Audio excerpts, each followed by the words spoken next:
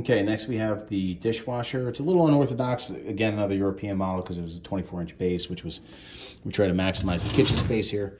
Um, traditional, you know, sort of stuff goes in the top up here. Uh, in this case, we've got a knife that needs to be put away, which we will put away. Um, and then below, we've got the pull-out tray, uh, silverware. This comes out, um, fairly straightforward. Um, and then there's this guy, which can also sit on top for organizing your silverware. Uh, you know, however you would like to do your dishes. It's truly up to you. All right, so put that back. Just gonna set this on the side for now. Okay, and then also, uh, every once in a while, if the unit isn't draining, simply reach in here. Super easy to do. Pull this out, clean that out, throw it back in.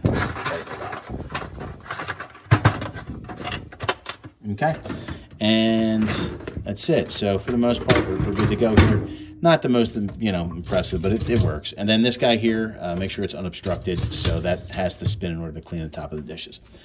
Uh, the packets go inside here. You can see I've got one in here now.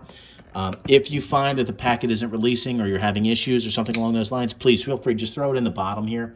It'll clean up just fine that way, okay? And then using the unit. Okay, so we're gonna start kind of right the lap Delay start almost never gets used, okay? how long should it wait for the dishwasher starts, right? One hour, two hours, three, four, up to 12. When it gets back to a number that does have an H, then you know you're good.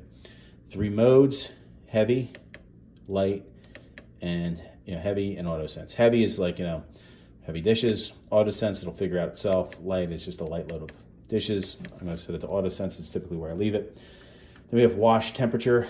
Um, Boost, make it a little bit hotter. Sanitize, make it really hot. cook it up a longer time. Okay.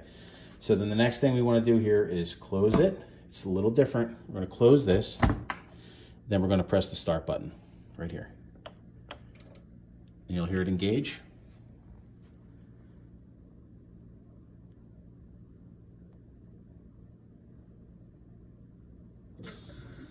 And there it goes and the water's gonna start spraying here in a second. It's weird because it literally won't start unless you hit the start button when it's plugged in. Okay, that is a design feature by somebody in Germany who doesn't use these dishwashers all that often. A little tricky. But anyway, you can hear it going and you should have no problems at that point.